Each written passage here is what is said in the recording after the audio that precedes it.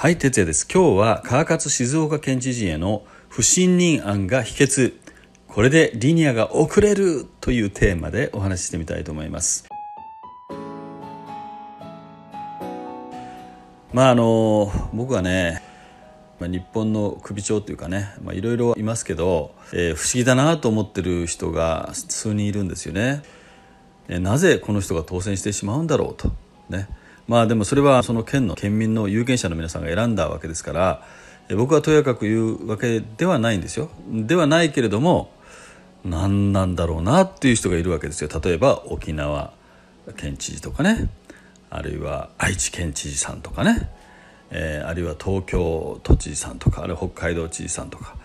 えーっていう人がいるんですよね。それは僕の個人的な感覚なので、えー、別にそれを否定するということではないけどええー、とは思ってるわけですよ。でその中の一人ね今挙げなかったけどその中の一人にえー、川勝平太静岡県知事がいらっしゃるわけですね、まあ、この方は日本のインフラ輸出の、まあ、希望の星となる可能性のあるリニアを徹底的に阻止しようと。リニアの開通をですね阻止しようとしているというふうに言われていますね。はい。でその静岡県知事川勝さんに対してですね、えー、不信任決議案が出されました。おおなかなかやるじゃないかと思いましたね。これはあの7月12日にその採決が行われたんですね。その内容について産経が簡潔にまとめてますのでまずその記事を読んでみたいと思います。静岡県議会の最大会派自民改革会議は12日川勝平太知事の給料返上問題を受け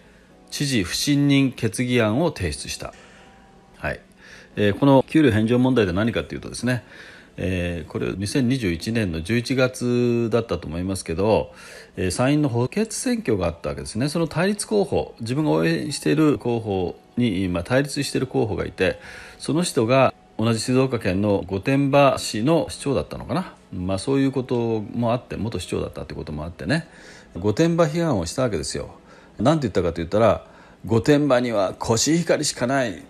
それで飯だけ食ってそれを農業だと思ってるみたいなねもうこれ正確じゃないですよなんかこんなこと言ったんですよね確かね正確ではありませんけど、まあ、こんな感じのことを言ったことを僕は覚えてるんですよ。まあ、これは完全に御殿場市というものを、まあ、ディスったというかね蔑んだような言い方じゃないですか。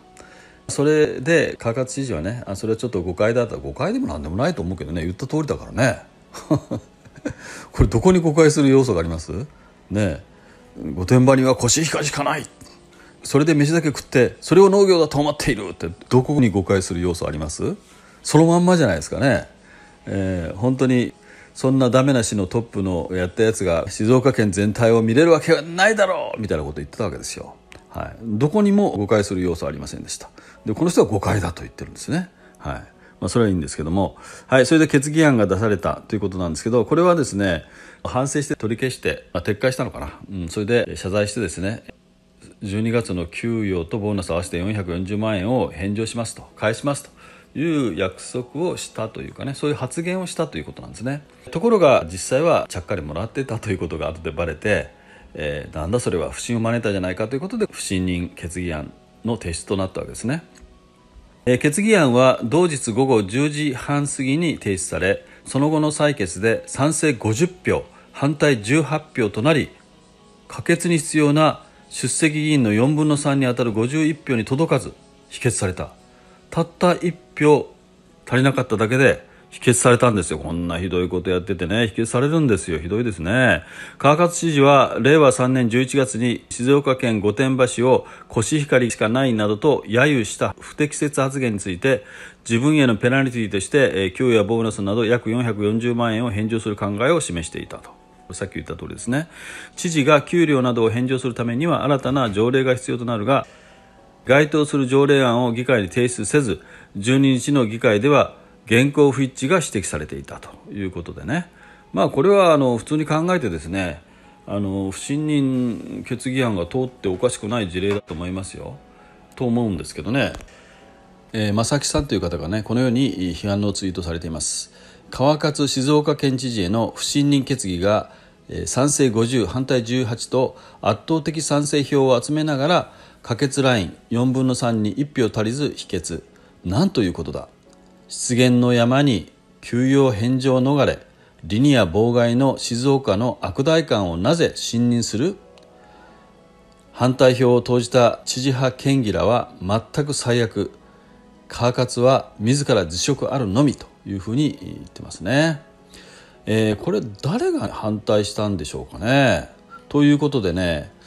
まああのいろいろ記事やツイートなどをこう見てるとね、まあ、分かってきたわけですけども、えー、どういう人が否決したのかということなんですけども、えー、門田隆翔さんはこのように書いています。えー、川勝平太静岡知事を支える県政与党富士の国県民クラブ18人この18人が丸々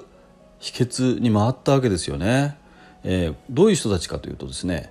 国民民主党立憲民主党無所属で構成されているそうですよ。ね、国民民主ってなんか最近保守的でいいなと思ったけどこっちの川勝さん側だったんですね。ちょっとショックですね。賛成50反対18で決議に必要な4分の3に1票足らなかった。同クラブが18議席を維持する限り知事は安泰。そうですね。この18人が丸々反対すれば何回やってもこれは知事は不信任決議案の可決ということに直面することはないということですよね。習近平氏に中世近いリニア阻止で日本に迷惑かける知事。こういうことをよく言われてるんですよ。ね。まあいろいろ言い訳してますけどね。これを否定できるような言い訳をというか理由をですね僕は見たことがないんですね。やっぱり中国に忠誠を誓ってる。という感じが僕はします。つまりリニア輸出でね中国が日本に先駆けてリニアモーターカーを世界中に売っていくためにはですね。まあ日本を先に生かしちゃダメなんだという考え方があるんじゃないかと思うんですね。はい。まあ、その辺りは川勝知事から直接ね、えー、そうだという話を聞いてないのでこれはまあ断定はできないんですけどそういう噂があることは間違いないですね、えー、門田隆翔さんはいつまでもやってなさいともう投げ捨ててるわけですけど僕はこういうふうにリツイートしました。国民民主も国益を考えずこんなことをやってるようじゃダメだなということですね、まあ、国民民主党の中央の方は、まあ、最近まともなこと言ってるなと思うけど地方レベルではねまだね、え、旧民主党と同じだという感じなんじゃないでしょうかね。はい。ということでねあと、まあ、僕が感じたことをもう一つ言わせていただくとですねこのデッドセクションという方がね73.5%の賛成をもってしても否決かと、えー、しかしまあこれで事実上は死にたいやなと、えー、言ってますけれども死にたいになるかどうか分かりませんね。18人ががっちりスクラム組んでればねえいくらあの不信任案が何回出されようと否決してしまうわけですからね。本当に死にたいになるんでしょうか。本当だったらねこれぐらいのね不信任で73.5%まで賛成が出たら僕だったらもうやめますけどね。自分なりにねもう判断してやめたくなるわけですけど、まあ、そういうことにならないんじゃないでしょうかね。はい、えー、このツイートに対して僕はこのようにリツイートしています。不信任案可決に4分の3以上の賛成が必要ってハードルが高すぎないか。県民の代表者たる県会議員の73.5%が信任していないのに知事を続けられるっておかしいだろうせめて3分の2以上の賛成で可決できるようにすべきだと思うということでね、まあ、これは僕の率直な感想なんですよ。まあ、4分の3以上っていうのはねどこで決まってるかということなんですけどちょっと調べてみるとね地方自治法の178条っていうのがあるそうですね。これによるとですね、えー、議員の3分の2以上の出席で4分の3以上が賛成することによって可決するというふうに書かれているようです。だからこの法律がちょっとおかしいんじゃないかと僕は思ってるんですよ。えっと、国会の不信任決議案っていうのもありますけどねこれは過半数だったと思いますよ。うん、だから僕はまあ過半数でもいいんじゃないかと思うけど、まあ、株主総会ってねよく普通決議と特別決議ってありますねで重要な案件については特別決議。で特別決議の場合が3分の2以上なんですよね。普通決議は過半数でいいということになってますよね。